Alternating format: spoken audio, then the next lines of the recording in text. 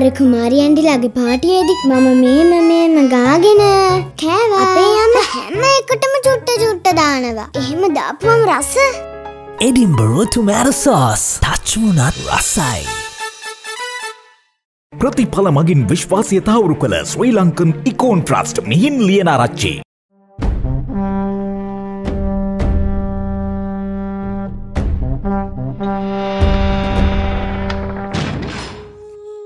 පදුම ජාතකය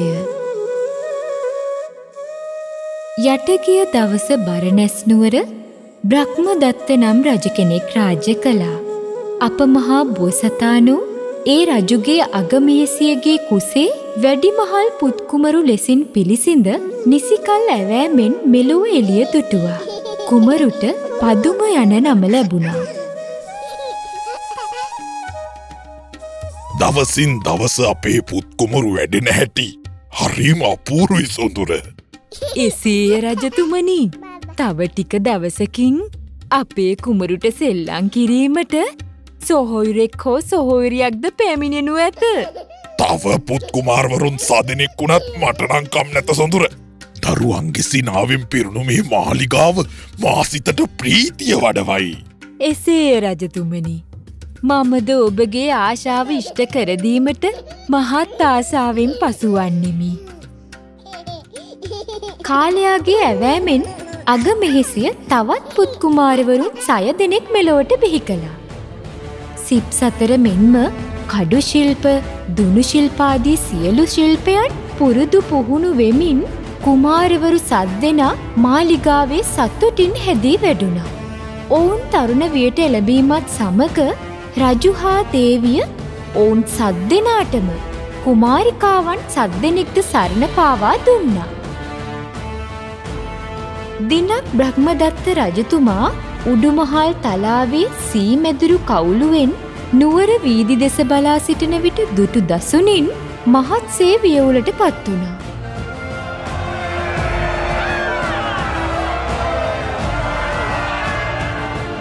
දේවිය දේවිය ඇයි රජතුමනි? කිමෙක්ද මේ කලබලය? අර අර දුටුවාද? ඔබට පෙනෙනවදල් වීදී ඇදෙන විශාල සේනාව. කුමාරවරුන්ගේ පිරිවර. ඔවුන්ට දැනටමත් මහත් පිරිවර ලැබී තිබෙනවා රජතුමනි. එය කොච්චර නන් සතුටක්ද? ඔබට විකාරද දේවිය? ඒ සතුටක් නොව මහත් ව්‍යසනයක පෙරනිමිති බව ඔබට නොහැගේද මුන් සද්දනා මගින් රජකම පෑරගන්නවා නොවනුමානයි ඊට පෙර මාකුමක් හෝ කළ යුතුයි අහෝ රජතුමනි ඔබ කුමද්ද සිදු කරන්නට සිතා සිටින්නේ රජතුමා කුමාරවරුන් සද්දෙනා කැඳවා වහා ඔවුන්ගේ බිසෝරුන්ද රැගෙන මාලිගාවෙන් පිටවී ඈත පලාතකට ගොස් ජීවත් වෙන ලෙස පවසා සිටියා. තමා මියගිය කලක පැමිණ රජකම ලබාගන්නා ලෙසද රජතුමා ඔවුන්ගෙන් ඉල්ලා සිටියා. කුමාරවරුන් සද්දෙනා තම බිසෝවරුන්ද සමගින් පසුවදාම මාලිගාවෙන් පිටවගියා. මෙසේ යන අතරමගදී ඔවුන් විශාල කාන්තාරයකට පිවිසුනා. කාන්තාරයේ වැඩිදුරක් ඇවිදයාමට මත්තෙන් ඔවුන් රැගෙන ගිය ආහාරපානාදියද අවසන් වුණා. ඊළඟ දවසේ මධ්‍යානය වන විට කෑමයි වතුරයි නැතිව හැමෝම හාමතෙන් පිපාසයෙන් පීඩාවට පත් වුණා.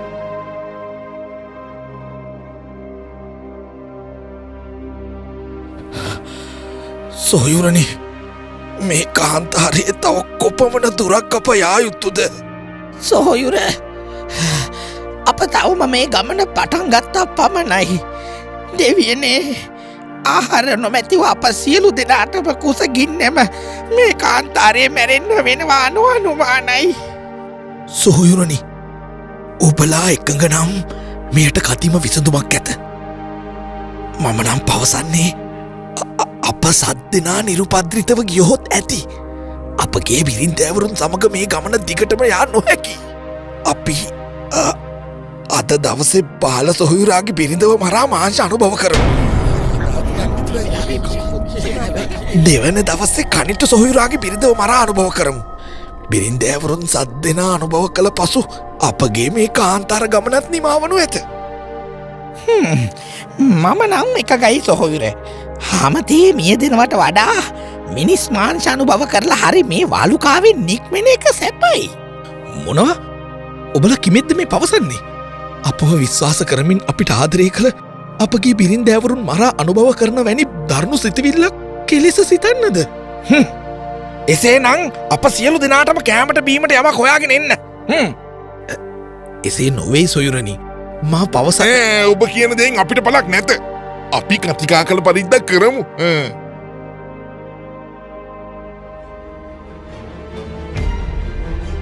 රාජකුමාරවරු සද්දෙනම් දිනකට එක් කුමාරිකාව බැගින් මරා අනුභව කර කුසගිනි නිවාගනිමින් කාන්තාරයේ ගමන් කළා.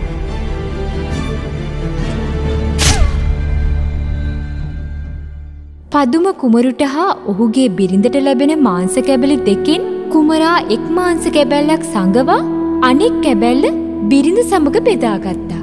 පදුම කුමරුගේ බිරිඳව මරණ දවස එළඹෙද්දී පදුම කුමරු තමා සඟවාගත් මාංශ කැබලි අනෙක් කුමාරවරුන්ට දී බිරිඳව බේරගත්තා. එහෙත් පසුදින තම බිරිඳට මරණය උරුම බව පදුම කුමරු දැනගත්තා. හෙට දිනයේ මෝන්ට කෑමට කිසිවක්ම නැත මට කෙසේවත් මගේ බිරිඳ බේරාගත නොහැකි වන්නේය කළයුත්තේ මම මගේ බිරිඳ සමගින් වහාම පලායාමයි ඕ සොඳුර. සොඳුර. සොඳුර නැගිටින්න. සුදුර හිමියනේ? අප වහා මෙතනින් පලායා යුතුයි. ඉක්මං කරන්න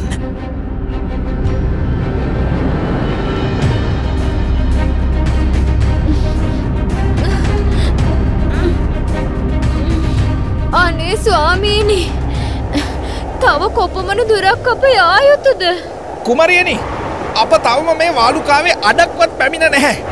ඉක්මනින්ම අපට ශේම භූමියක් හමුවේවි.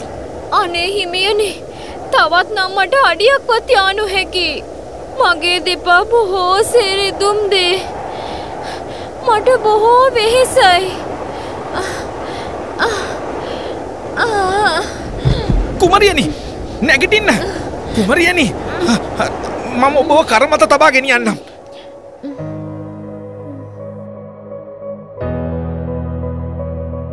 පදුම කුමාරයා ඒ රාත්‍රියේ කුමරියව කරමත තබාගෙන කාන්තාරයේ තරණය කළා. රාත්‍රී පහව එළඹි දහවල් කාලය දැඩි හිරු රශ්මිය නිසා මොවුන් දෙදෙනා තව තවත් පීඩාවට පත් වුණා. කුමරිය දැඩි පිපාසාවෙන් පෙරුණා. අහෝ හිමියනි මගේ දිව ගෙලෙන්නාසේ පිපාසයි. කුමරියනි මේ කතරේ දිය පොදකුදු නැති බව ඔබ දනි. අමාරුවෙන් හෝ ඉවසා අප තව ටික දුරක් ගමන් කරමු. අනේ හිමියනි මට කොහෙන් හෝ දියගෙනවිත් දෙන්න නැතහොත් තව ගව්වක් යාමට මත්තෙන් පිපාසාවෙන් මෙහිමිය යනු ඇත මේ කතරේ මා කොහෙන් දිය සොයන්නද සොඳුර? මට බොහෝසේ පිපාසයි.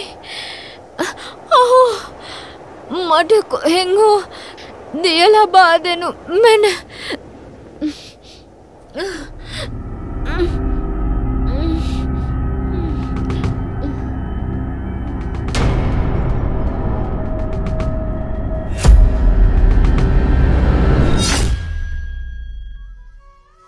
කුමරිය පිපාසාවෙන් වැළපෙද්දි පදුම කුමරු තම දකුණු උරහිස පිහියකින් පලා කුමරියට ලේබොන්නටදී ඇගේ පිපාසය සංසිඳෙව්වා.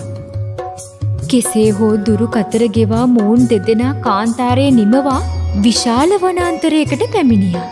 එම වනය මැදින් ගලා බසින ගඟක් අසල පැලක් සාදාගත් පදුම කුමරු සහ කුමරිය වනයේ පළවැල නිලාකාබී සතුටින් ජීවත් වනා.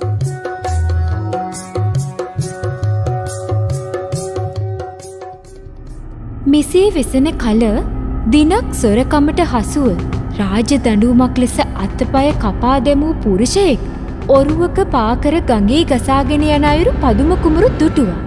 ඔහු ගැන අනුකම්පාවක් ඇති වූ පදුමකුමරු ඔහුව බේරාගෙන ඔහුගේ තුවාලවලට බෙහෙත් කරමින් ඔහුව පෝෂණය කරන්නට වුණා.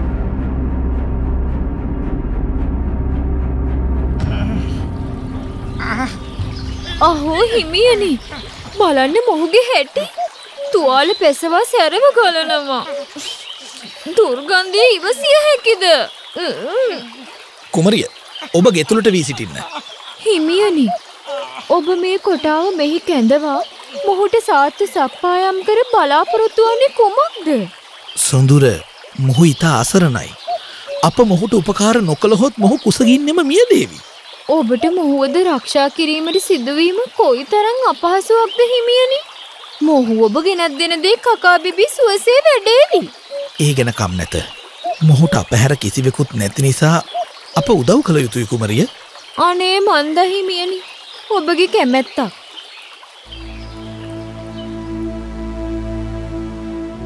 පදුම කුමරු දුකසේ වෙහෙසි පළවැල නිලා කොටාවද පෝෂණය කළා.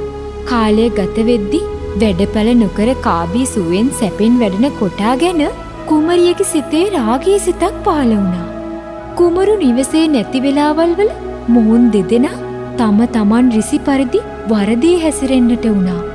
පදුම කුමරු නොමැති වූවානම් තමාටත් කොටාටත් බොහෝ සතුටින් වෙසිය හැකි බව මේ වන විට කුමරිය අවබෝධ කරගෙන සිටියා.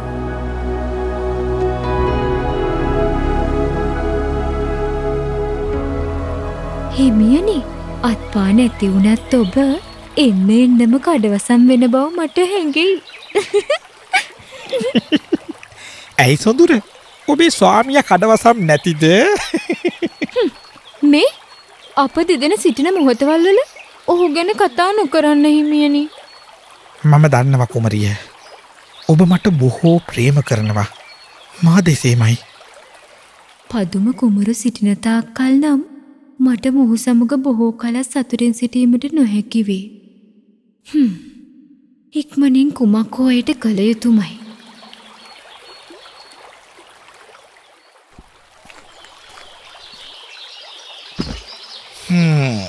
හරිම වෙහෙසයි. ගව් ගානක් ඇවිද්දා දැන්නම් වනේ පලවෙලත් බොහොම හිඟ පාටයි. කුමරියනි ඔබ දින කිහිපයක සිට කුමක් හෝ ගැටලුවකින් පෙළෙන බව මට පෙනේ. කිමෙන්ද ඔබට අසනීපයක් වත්ද. ආ, හිමියනි ඔබට මතකද අප දෙදෙන කාන්තාරය තරණය කරමින් ආයේ දුෂ්කර ගමන. ඒ ගමනේදී අප දෙදෙනාගේ ජීවිතවලට කිසිම උපද්‍රවයක් සිදු නොවේවා යයි ඉල්ලමින් අර ඈත පෙනෙන පර්වතය විසන දෙවියන්ට මා භාරයක් වූවා. දැන් දැන් මාහට රාත්‍රියේ බොහෝ බිය හිතෙන සිහින පෙනෙනවා හිමියනි. ඉතින් සොඳුර අප තව කල් නොයවා ඒ භාරය ඔප්පු කරමු. ඔබ හෙට මෙහි යාමට සූදානම් වන්න.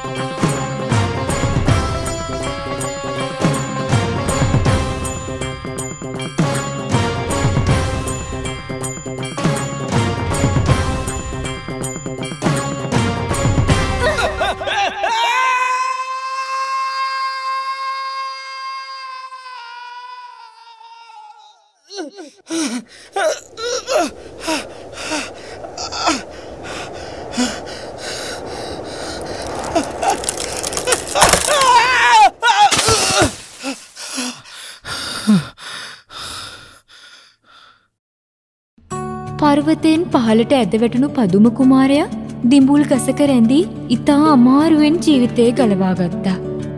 දිඹුල් ගස පාමුල සිටි විශාල තලගොයේ කුමරුට ගසෙන් බැස ගැනීමට උදව්වීමෙන් පසු කුමරු නැවත බරණැස් නුවරට පැමිණියා. ඒ වන විට ඔහුගේ පිය රජතුමා මියගොස් සිටි නිසා ඔහුට රජකම ලැබුණා. රජවීමෙන් පසු පදුම රජතුමා නුවර පුරා දන්සැල් ඉදිකොට ජනී ජනයාට ආහාර පානාදියෙන් සංග්‍රහ කරනු ලැබුවා. ඈත ගම් දනම්වලින් පවා දුගී මගී යාජකාදීන් මේ දන්සල්වලට පැමිණියා.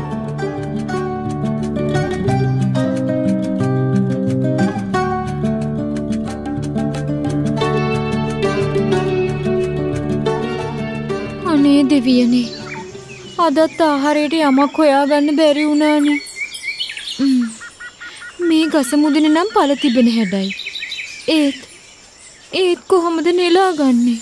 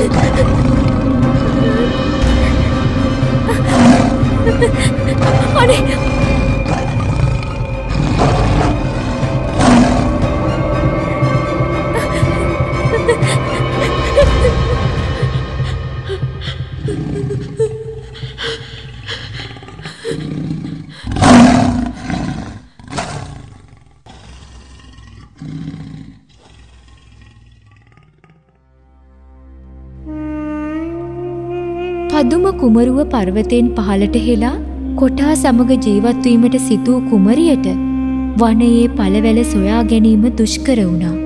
එම නිසා කොටාද සමගින් වනයෙන් පිටවී ගම් දනව් කරා යමින් ආහාර ලබාගන්නට ඇය සිතුවා.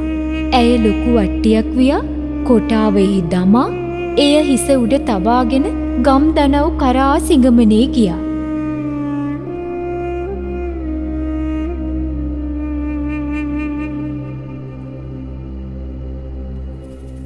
අනේ පින් සිදුවෙයි. අප දෙදෙනාට ආහාරයට යමක් ලබා දෙන්න. අනේ පින්වතුනි. දින ගණනකින් කුසට කිසිදු ආහාරයක් නෑ. අහෝ අපට කවුරු හරි පිහිට වෙන්න. ඇදියනිය මේ වට්ටියේ සිටින අතපය නොමැති මිනිසා ඔබේ කවුරුන්ද මෑණියනි මේ මගේ නැන්ද සහ මාමා විසින් මට සරණ පාවා දුන් මගේ සැමියා. දරුණු රෝගයක් නිසා ඔහුට අතපය අහිමි වූවා. එහෙත් මොහුව දුකට පත්වී ඇති මොහොතක තනි කිරීම යහපත් දෙයක් නොවන නිසා මම මොහුවද හිස මත තබාගෙන කෑමක් බීමක් සොයා ගැනීමට වෙහෙසෙනවා. හා බොහෝම අගෙයි දියනිය ඔබ ඉතා කරුණාවන්ත යහපත් බිරිඳක් ඔබ සැමියා සමගින් බරනැස් නුවරට යන්න එහි රජතුමා ඔබ වැනි අයට මහත්සේ අනුකම්පා කරනු ඇත නුවර හැම තැනම දන්සැල්ද ඇති නිසා ඔබලහට ආහාරවලින් අඩුවක් නොවනු ඇත.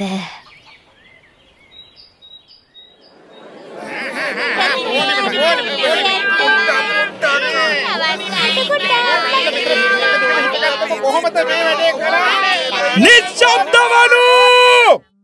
අපගේ රජතුමා දන්සල් භූමියට සැපත් වෙනවා. හැම දෙනාම රැස්වෙන්න.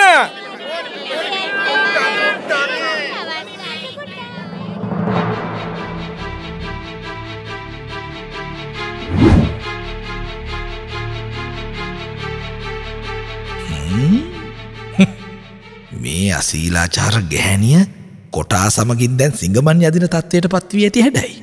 මැය කිසි සේත්මා හඳුනාගන්නේ නම් නැත. රාජපුරුෂය අර කොටෙක් හිස මත තබාගෙන සිටින ස්ත්‍රිය වහාම මෙහි කැඳවාගෙනෙනු. එසේ එසේ දේවයන් වහන්ස.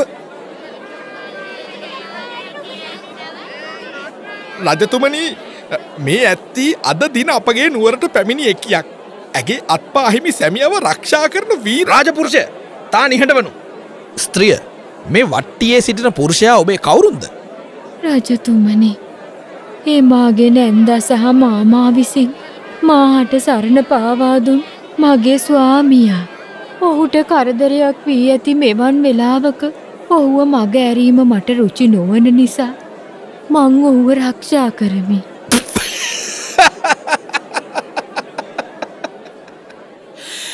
තී ඔය පවසන්නේ මුසාවක් නොවේද තිට මාව මතක නැති හැඩයි. තිගේ ජීවිතය ආරක්ෂා කර ඔය කොටාටද ජීවිතය දුන් තොප හිතක් පපුුවන් නැතුව පර්වතයෙන් බිමහෙලූ පදුමකුමරු මමයි. තී කළ ගුණමකු වරදට තොප්ප දෙදෙනාවම මේ නුවරින් පිටුවහල් කරමි. අහෝ රජතුමනි මේ පව්කාර ස්ත්‍රියට සමාවුව මැනවී. අනේ අපාට සමාවුව මැනවී සමාව තීකළ වරදට දඩුවමනම් මරණයයි ඒත් මා දැහැමි රජකු ලෙස එසේ නොකරමි. රාජපුරුෂයනි මැයත් මැගේ කොටාවත් මේ නුවරින් වහා පිටු වහල් කරනු. කිසි වෙක්කු හට මොවුන්ට උපකාර කිරීමටවත් ඉඩ නොදෙනු. රජතුමා කොටාවත් කුමරියවත් රටින් පිටුහල් කරනු ලැබුවා. දාන මානාදී පින්කම් කරමින් රජතුමා සැපසේ වෙසෙනු අතර කිසිවෙක් ආහාරපාන ලබා නොදුන් නිසා කුමරිය සහ කොටා දැඩිසේ දුක්විඳ මිය ගියා. එකල භවයේ කුමරිය වී ඉපද සිටියේ චිංචි මානවිකාය. කොටා නම් දේවදත්ත තෙරුන්ය. තලගොයා නම් ආනන්ද තෙරුන් වහන්සේය. පදුම කුමාරයා වූයේ අප මහා තිලෝකුරු බුදුරජාණන් වහන්සේය.